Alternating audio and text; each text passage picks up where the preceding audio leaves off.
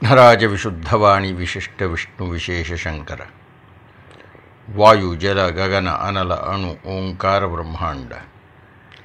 ಆದಿಮಧ್ಯ ಅಂತದ ವ್ಯಾಪ್ತಕೆ, ಸಚ್ಚಿತ್, ಆನಂದ ಆತ್ಮಜ್ಞಾನಕ್ಕೆ ರೂಪು ನೂರರ ಶುದ್ಧ ಚೈತನ್ಯಕ್ಕೆ ನಮೋ ನಮಃ. ನಮಸ್ಕಾರ ಗುರುಗಳೇ. ನಾನು ಸಂದೀಪ ಕುಲಕರ್ಣಿ ಅಂತ ಹುಬ್ಬಳ್ಳಿಯಿಂದ ಮೂಲತಃ ಬೆಂಗಳೂರಿನಲ್ಲಿ ನೆಲೆಸಿದ್ದೇನೆ. ನನ್ನ ಪ್ರಶ್ನೆ ಜಗತ್ತಿನಲ್ಲಿ ಇಂದಿನ ಜನಸಂಖ್ಯೆ ಸುಮಾರು ಎಂಟುನೂರು ಕೋಟಿ. ಈ ಜೀವಾತ್ಮಗಳ ಸಂಖ್ಯೆ ಹೇಗೆ ನಿರ್ಣಯವಾಗಿರುತ್ತದೆ? ಅನಾದಿ ಕಾಲದಿಂದ ಮೋಕ್ಷ ಸಿಗುತ್ತಿರುವ ಮಾನವನ ಸಂಖ್ಯೆ ಹೇಗೆ ಇಷ್ಟೊಂದು ಹೆಚ್ಚಾಗಿರುವುದು? ಪ್ರಾಣಿ ಪಕ್ಷಿಗಳಿಗೂ ಆತ್ಮವಿದ್ದು, ಅವು ಜನ್ಮಾಂತರದಿಂದ ಮನುಷ್ಯನಾಗಿ ಮೋಕ್ಷ ಹೊಂದುತ್ತವೆ. ಹಾಗಾದರೆ ಈ ಹೆಚ್ಚುತ್ತಿರುವ ಮಾನವರ ಸಂಖ್ಯೆಗೆ ಕಡಿಮೆಯಾಗುತ್ತಿರುವ ಪ್ರಾಣಿಗಳ ಪಕ್ಷಿಗಳ ಕ್ರಿಮಿಕೀಟಗಳ ಸಂಖ್ಯೆಯೇ ಕಾರಣವೇ? ಅಥವಾ ಜನರಿಗೆ ಮೋಕ್ಷ ಸಿಗುವುದೇ ಕಡಿಮೆಯಾಗಿ ಜನಸಂಖ್ಯೆ ಹೆಚ್ಚುತ್ತಿದೆಯೇ? ಹೊಸ ಹೊಸ ಆತ್ಮಗಳು ಹೇಗೆ ಹುಟ್ಟಿಕೊಳ್ಳುತ್ತವೆ? ಹೇಗೆ ಭಗವಂತನ ಕಾರ್ಯದಲ್ಲಿ ಈ ಆತ್ಮಗಳ ಸಂಖ್ಯೆ ನಿರ್ಣಯಿಸಲ್ಪಡುವುದು? ಸಂದೀಪ್ ಕುಲಕರ್ಣಿ. ಮನುಷ್ಯರ ಆತ್ಮಗಳ ಹೆಚ್ಚಳದ ಹಿನ್ನೆಲೆಯಲ್ಲಿ ಈ ಪ್ರಶ್ನೆ ಕೇಳ್ತಾ ಇದ್ದೀರಿ. ಅಂದರೆ ಅರ್ಥ ಏನು ಅಂದರೆ ಯಾವುದೋ ಒಂದಷ್ಟು ಕಡಿಮೆಯ ಸಂಖ್ಯೆಯ ಜೀವಾತ್ಮಗಳಿವೆ. ಅಂದರೆ ಎಷ್ಟೋ ಕೆಲವು ಕೋಟಿಗಳಷ್ಟು ಮನುಷ್ಯರು ಆ ಮನುಷ್ಯರ ಸಂಖ್ಯೆಯಲ್ಲಿ ಹೆಚ್ಚಳ ಆಗಿದೆ. ಅದು ಕಾಣಿಸ್ತಾ ಇದೆ ನಮಗೆ.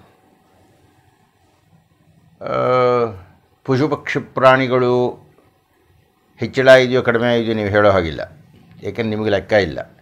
ಹಾಗೂ ಹೀಗೂ ಕಷ್ಟಪಟ್ಟು ಜನಸಂಖ್ಯೆನ ನೀವು ಪ್ರಯತ್ನಪಟ್ಟು ಲೆಕ್ಕ ಹಾಕಿದ್ದೀರಿ, ಅದರ ಹಿನ್ನೆಲೆಯಲ್ಲಿ ನೀವು ಎಂಟುನೂರು ಕೋಟಿ ಚಿಲ್ಲರೆ ಅಂತ ಹೇಳ್ತಾ ಇದ್ದೀರಿ ನೀವು.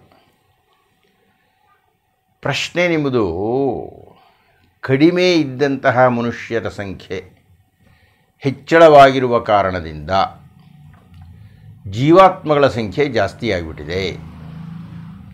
ಹಾಗಾದರೆ ಏನು ಮೋಕ್ಷವೇ ಸಿಕ್ಕಿಲ್ವೇ? ಅಥವಾ ಪಶುಪಕ್ಷಿ ಪ್ರಾಣಿಗಳಲ್ಲಿರತಕ್ಕಂಥ ಆತ್ಮಗಳೆಲ್ಲ ಈಗ ಮನುಷ್ಯರಾಗಿದ್ದಾರೆಯೋ? ಇದು ನಿಮ್ಮ ಸಂದೇಹ, ಪ್ರಶ್ನೆ. ನಿಮ್ಮ ಮೂಲಕ ನಾನು ಎಲ್ಲರಲ್ಲಿಯೂ ಏನು ಪ್ರಾರ್ಥನೆ ಮಾಡ್ತೀನಿ ಅಂದರೆ, ನೀವು ಪ್ರಶ್ನೆಯನ್ನಷ್ಟೇ ಕೇಳಲ್ಲ, ಉತ್ತರವನ್ನು ಹೇಳ್ಬಿಡ್ತೀರಿ ನೀವು. ಅಂಥದ್ದು ಯಾವುದೋ ಒಂದು ಉತ್ತರ ನೀವು ತಿಳಿದುಕೊಂಡು ಬಿಟ್ಟಿರ್ತೀರಿ ಹೀಗಾಗಿ ಆ ಪ್ರಶ್ನೆಯ ಜೊತೆಗೆ ಉತ್ತರವನ್ನು ಹೇಳಿ ಹೌದಾ ಅಂದ್ಬಿಡ್ತೀರಿ. ಅದು ಹೇಳೋದು ಕಷ್ಟ ಆಗುತ್ತೆ ನಮಗೆ. ಇದು ವಿಸ್ತಾರವಾಗಿ ಚರ್ಚೆ ಮಾಡ್ತಕ್ಕಂಥ ವೇದಿಕೆ ಅಲ್ಲ. ನೀವು ಪ್ರಶ್ನೆ ಕೇಳಿದ್ರೆ ಒಂದು ಉತ್ತರ ಹೇಳಬೇಕು ನಾನು. ಆಯಿಂದ ದಯಮಾಡಿ ಎಲ್ಲರೂ ನಿಮ್ಮ ನಿಮ್ಮ ಅನಿಸಿಕೆಗಳನ್ನು ನೀವು ಅರ್ಥ ಮಾಡ್ಕೊಂಡಿರಿ. ಆದರೆ ನಿಮಗೆ ಸಂದೇಹ ಇದ್ದರೆ ಪ್ರಶ್ನೆ ಕೇಳಿ ಅಷ್ಟೇ ಅಲ್ವೇ? ಇಲ್ಲದೇ ನೀವು ಪ್ರಶ್ನೆಯ ಜೊತೆಗೆ ಉತ್ತರವನ್ನೂ ಹೇಳಿದರೆ ಹೀಗಿರ್ಬೋದಲ್ವಾ, ಹಾಗಿರ್ಬೋದಲ್ವಾ ಅಂದರೆ ಆಗ ನನ್ನ ಉತ್ತರವನ್ನು ನೀವು ನಿಯಂತ್ರಣ ಮಾಡಲಿಕ್ಕೆ ಪ್ರಯತ್ನ ಪಡ್ತೀರಿ. ಅದನ್ನೆಲ್ಲ ವಿಸ್ತರಿಸಿ ಹೇಳೋದಕ್ಕೆ ನನಗೆ ಭಾಳ ಕಾಲ ಬೇಕಾಗುತ್ತೆ. ಈಗ ನೋಡಿ ಇದು ಏಕಜೀವಾತ್ಮವೇ ಅನೇಕ ಜೀವಾತ್ಮವೇ ಅನ್ನತಕ್ಕಂಥ ಬಹಳ ಪ್ರಧಾನವಾಗಿರತಕ್ಕಂಥ ತಾತ್ವಿಕ ಪ್ರಶ್ನೆಗೆ ಸಂಬಂಧಪಟ್ಟಂಥ ವಿಷಯ ಇದು. ಮೇಲ್ನೋಟಕ್ಕೆ ನಿಮಗೆ ಕೋಟಿ ಕೋಟಿ ಕೋಟಿ ಕೋಟಿ ಕೋಟಿ ಕೋಟಿ ಜನ ಇದ್ದಾರೆ ಮನುಷ್ಯರು ಅನ್ನತಕ್ಕಂಥದ್ದು ಅನ್ನಿಸ್ತಾ ಇದ್ದರೂ ಅದ್ವೈತ ಸಿದ್ಧಾಂತದ ಪ್ರಕಾರ ಈ ಎಲ್ಲ ಹಲವು ಜೀವಾತ್ಮಗಳು ಇಲ್ಲ, ಅದು ಒಂದೇ ಜೀವಾತ್ಮ. ಅನೇಕ ಜೀವಿಗಳು ದೈಹಿಕವಾಗಿರಬಹುದು. ಈಗ ನೋಡಿ, ಸೂರ್ಯ, ಸೂರ್ಯನಿಗೆ ಶತಕೋಟಿ ಕಿರಣಗಳು. ಆದರೆ ಸೂರ್ಯ ಒಂದೇ. ಪರಮಾತ್ಮ ಶಕ್ತಿ ಎನ್ನತಕ್ಕಂಥದ್ದು ಒಂದೇ. ಆ ಪರಮಾತ್ಮ ಶಕ್ತಿಯ ಕಿರಣಗಳು ಕೋಟಿ ಕೋಟಿ ದೇಹಗಳಲ್ಲಿ ಬರಬಹುದು. ಆದರೆ ಆ ಕಿರಣಗಳ ಮೂಲ ಎಲ್ಲ ಒಂದೇ ಆ ಅರ್ಥದಲ್ಲಿ ಮನುಷ್ಯರ ಸಂಖ್ಯೆ ಜಾಸ್ತಿ ಆಗಿಯೇ ಇಲ್ಲ. ದೇಹಗಳು ಜಾಸ್ತಿ ಆಗಿದೆ ಅಷ್ಟೇ. ಆದರೆ ದೇಹದ ಒಳಗೆ ಇರತಕ್ಕಂಥ ಆತ್ಮವೆಲ್ಲ ಒಂದೇ ಅನ್ನತಕ್ಕಂಥದ್ದು ಅದ್ವೈತ ಸಿದ್ಧಾಂತದ ನಿಲುವು. ಈಗ ಒಂದು ಮರಳ ಹಾಸಿರುತ್ತೆ ಆ ಮರಳ ಹಾಸಿನ ಮೇಲೆ ಒಂದು ಮರಳ ಕಣವನ್ನು ನೀವು ತೆಗೆದು ಆ ಮರಳ ಕಣವನ್ನು ಕೇಳಿದರೆ, ಏನಪ್ಪ ಮರಳ ಕಣವೇ ನೀನು ಯಾರು, ನೀನೇನು ಅಂದರೆ, ನಿಮ್ಮ ಕೈಗೆ ಒಂದು ಮರಳು ಕಣ, ಇನ್ನೊಂದು ಮರಳು ಕಣ, ಮಗದೊಂದು ಮರಳು ಕಣ, ಆದರೆ ಮೂಲಭೂತವಾಗಿ ಮರಳ ಹಾಸದು. ಸಮುದ್ರ ಜಲದಲ್ಲಿ ಒಂದು ಬಿಂದು ಜಲವನ್ನು ತೆಗೆದರೆ ಕೋಟಿ ಕೋಟಿ ಬಿಂದುಗಳು ಸಿಗುತ್ತೆ ನಿಮಗೆ ಹಾಗೆ, ಆದರೆ ಮೂಲಭೂತವಾಗಿ ಸಮುದ್ರ ಒಂದೇನೆ.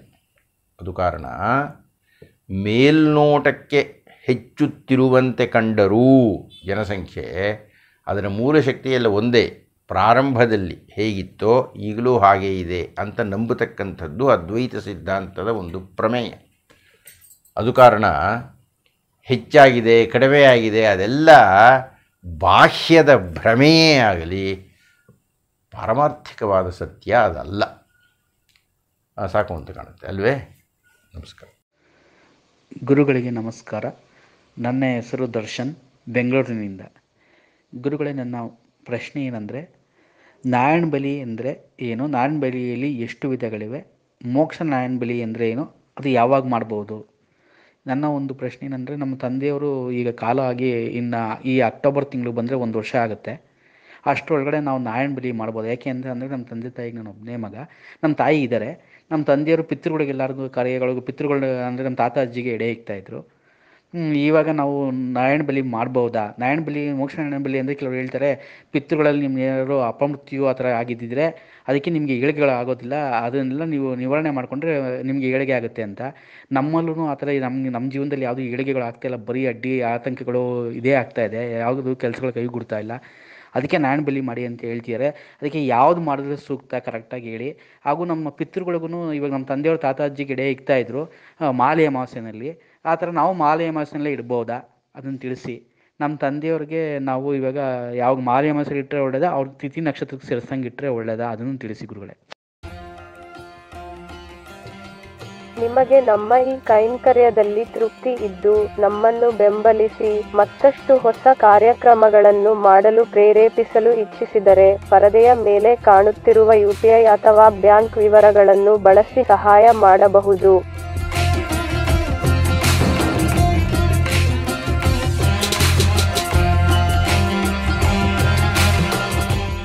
शुभमस्तु।